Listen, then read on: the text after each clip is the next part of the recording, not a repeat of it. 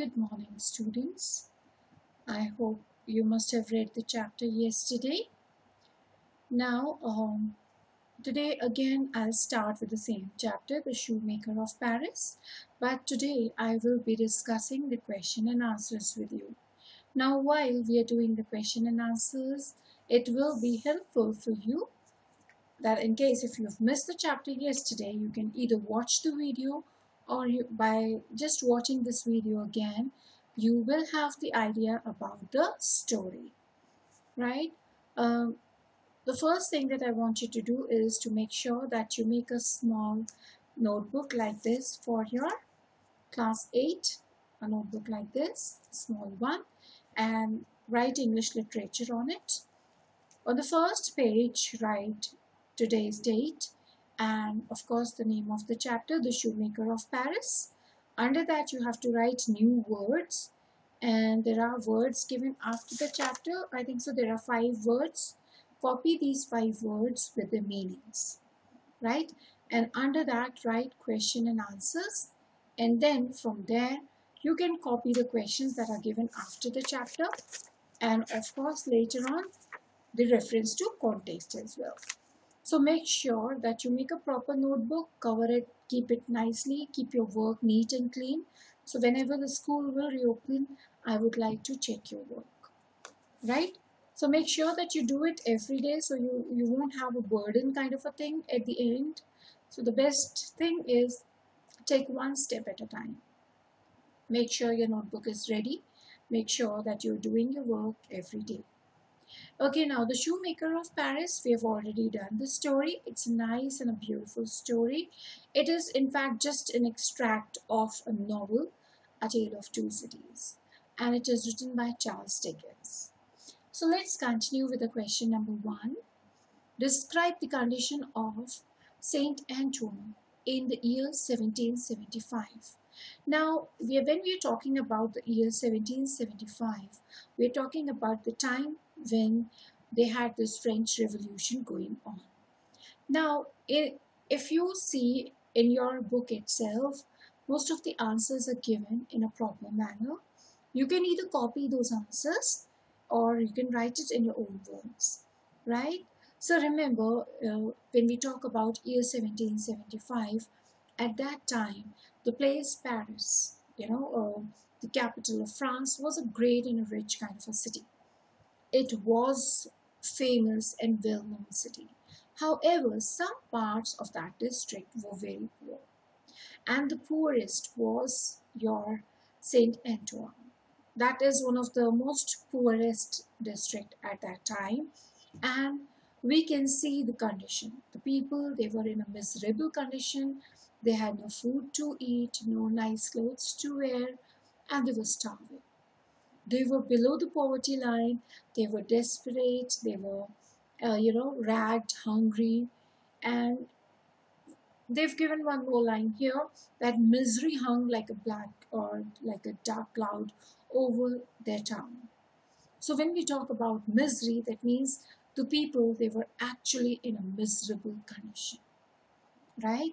So when you write this answer, make sure that you get the points from the first para of your chapter. On It is on page number 5 again. The first para, I, if you want, I can read it. The answer should be, in the year 1775, Paris, the capital of France, was a great and rich city. But some parts of the city were very poor. Right? So it was a great city, but some parts of it were very poor right? The poorest district of all was Saint Anton. Now the poorest was Saint Anton, right? There the people lived in great poverty. That was the place, that was the district where the people, they were living in great poverty. They were hungry, ragged and desperate. Misery hung like a black cloud over St. Anton. So now you'll have to understand that the people, they were in a miserable condition, right? So that is the first answer. Remember or see if you can mark it in your book itself and if you have understood. Then I'll be very happy if you can write it in your own words. Right? Let's move to the second one. who was watching the joyous crowd and what was his expression like. Now we all know when this crowd, when these people, they were acting like a mad person, you know, um, they were rushing through the streets of their town. They were drinking wine like dogs. They were on their knees. They were, you know, just uh, collecting it into into their hands or dipping the rags and drinking the wine. There was one person who was actually watching them. He is none other than the owner of the wine shop. That is Monsieur Defarge. He was standing on the doorway, right? And the barrel was on his way towards the wine shop. He's the owner of the wine shop. So he was standing there and he was watching the joyous crowd. The people, they were acting in a weird manner. They were so happy and excited. They were just running around, drinking wine. They they were in such a miserable condition and now that when they got wine that too free of cost they were not ready to let it go right so they were just trying to drink as much as possible. Now the second part of the question says what was his expression like? Now here Defarge when he was standing on the doorway he was looking at the joyous crowd. He could see the people acting in a mad manner in a weird way and at the same time he had uh, you know mixed kind of feelings. He was feeling pity and sad uh, for the poor. Why? Because of their miserable condition. But at the same time he was filled with anger. And this anger was for the rich people who actually caused that misery. Right? So defarge was uh, standing there. He was watching the crowd and his face had both the expressions at the same time. He was feeling pity for the poor and he was feeling angry for the rich who caused that misery. Right? If you want, it is in your book, page number 6. You can see the second para. Second line, the owner of the wine shop, Monsieur Defarge, was standing in his doorway. He was watching the scene. As he watched, his face showed both pity and anger. There was pity for the misery of the people, and there was anger against the rich who caused that misery. Clear? So that is the answer that I'm looking for. The first part of the question is easy. Who was watching the joyous crowd? You already know. The owner of the wine shop, that is Monsieur Defarge. And apart from that, the second part I've given you here. It is in the book itself, page number 6, second paragraph. Right? You want me to write it here or will you remember it? I hope you'll remember it, right? So let's move to the next one. What did he talk to? Okay, I'm sorry. Whom did he talk to? It should be whom, I'm sure. Right. It is who did he talk to? Okay, he it is who who did he talk to at that particular moment or at, at that particular time what did he talk about now while he was watching the joyous crowd acting in a weird or mad manner. He was talking or he saw a man a thin man. What he actually did he dipped his finger in the red mud. Now this mud was red because of the red wine. So he dipped his finger and then on the wall in the capital letters or bold letters, he wrote blood. Now, when he did that, the Defarge was also there. And he was talking to Gaspard. Now, this is the person here. Let's see. It says here, yes, what he says, he says, yes, very soon time will come for blood. So that there will be a time when these people, they'll have to face the imminent blood. So he says here, you know, when he was watching the crowd, he saw a tall, thin man named Gaspard, to who dipped his finger in the red mud and wrote in large letters blood on the wall. They talked about the time when blood, not wine, will flow on the streets of Saint Anton.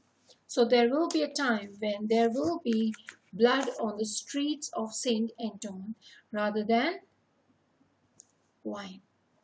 So they were talking about the time when soon everything will be in a miserable condition again or uh, there will be war.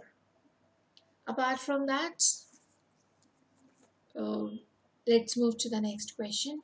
Who was Mr. Lorry? Why was he angry with Defarge? Now we all know who was uh, Mr. Lorry.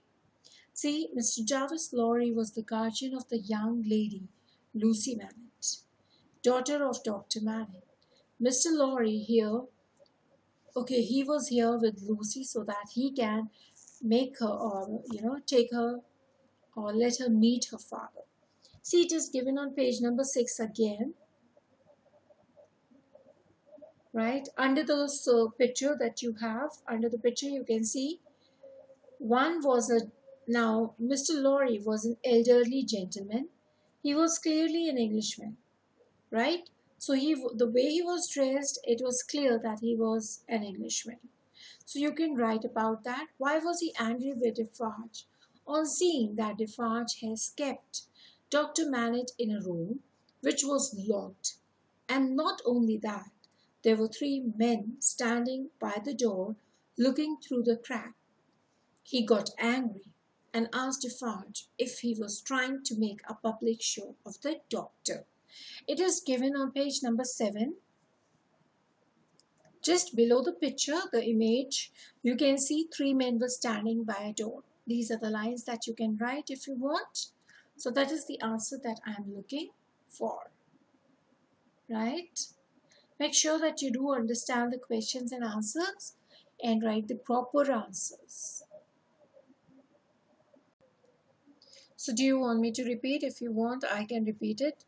In the question number one, you'll talk about the condition of the town. It is given on page number five, the first para.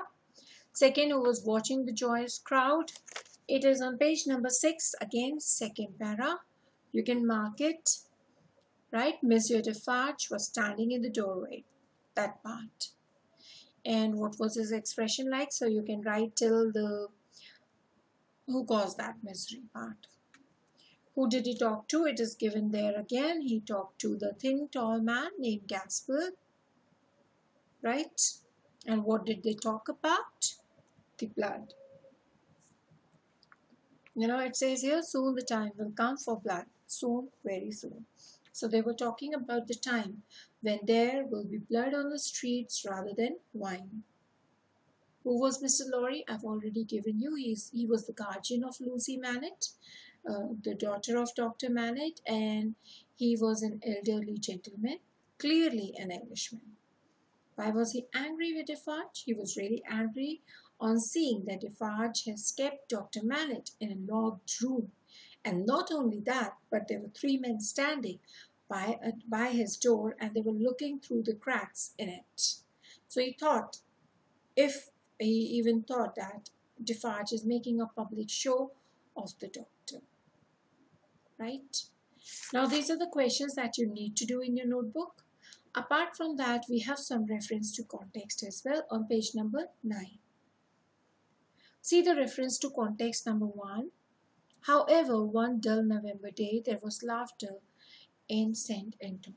Now we're talking about the day when this barrel fell and the people, they were going crazy trying to drink whatever they could. See the question number one. Why was there laughter in St. Anton on one dull November day? Why there was laughter? Now, you can always write the answer. You, I'm sure you know. One dull November day, there was laughter because a barrel of wine had fallen from a passing car. It as it you know and apart from that it is given on page 5 again. It had broken as it fell. The wine had run out over the road. The holes in the road had become the pools of red wine. The miserable people rushed out to drink what they could and laughter they laughed and laughed. Laughter was a strange sound in St. Anton, right? Why did the author start the sentence with however? Now, there's a reason why he started the sentence with however, because they were already in a miserable condition.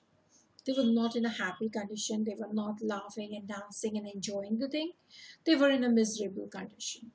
However, there came a day when they actually laughed. They enjoyed that day. So that is why he has used the word however. So the author starts the sentence with however because on one dull November day there was laughter in the streets of St. Anton. Right? And laughter was strange for them because they were laughing after a very long time. See the next question. How did the people behave in their laughter? Oh, the people, they were really, they were acting like mad. They were acting as if they had never seen wine and they were just getting crazy on seeing the wine on the street. They acted like dogs. They bent down on the knees. They drank like dogs. You know, some people even uh, they actually dipped their rags into the wine and they drank it. So people they were behaving like crazy. When next see the second reference to context. When Madame Defarge saw her husband, she gave a little cough. Why did Madame Defarge give a little cough? Now she gave a little cough, you know, kind of a thing, so that she can attract her husband's attention. Why? Towards these strangers who were sitting there in the wine shop. She wanted to attract her husband's attention and she wanted him to know that there, there are some strangers sitting in the wine shop. Right?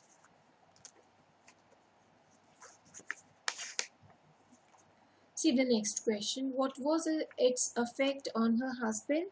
It is again given on page number 6. Right? Defarge followed her look, and he saw that two strangers were sitting at a table. So Defarge was a nice person. It took him a second to understand that his wife wants him to follow her, her looks and see towards the strangers. Who else were present on the scene? How did they react? So apart from uh, Defarge and his wife, two strangers were present there. One was Jarvis Lorry and the other one was young lady Lucy Manette. The moment uh, they saw Defarge coming towards them, they got up and they introduced themselves. So this is how they reacted. They reacted in a nice manner. Right? After this, we have C and D. We have two more references. You can always go through them. C is again question number one. Who was the young lady? We all know the young lady was Lucy Manette. She was the daughter of Dr. Manette. What connection did he have with her? Defarge was uh, Lucy's or Dr. Manette's servant 18 years ago. So this connection was pretty strange. He was their servant that to 18 years ago. Why had the young lady come to Defarge? She had come here so that she can take her father home. She was here for her father. Was her visit very successful? Oh, yes, of course. Her visit was successful. Why? Because when she came here, she got to meet her father, right? And she was planning to take him home.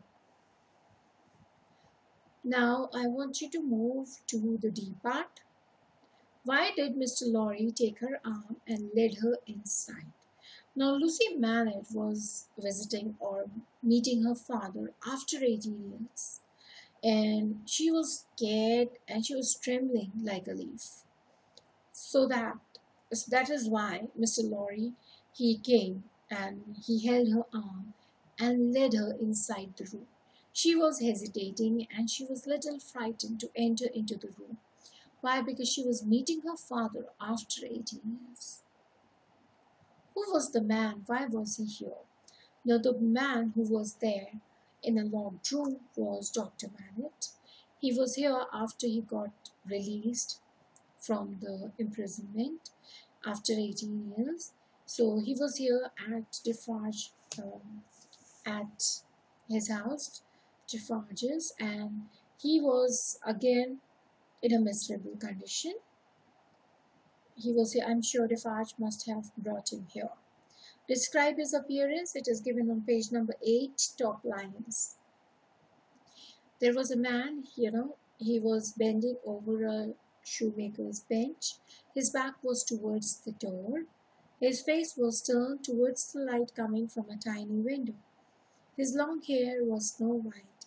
His clothes hung like rugs from his thin shoulders. So that is the last answer of your reference to context. Make sure that you make a proper notebook and you complete your notes. Complete these question and answers.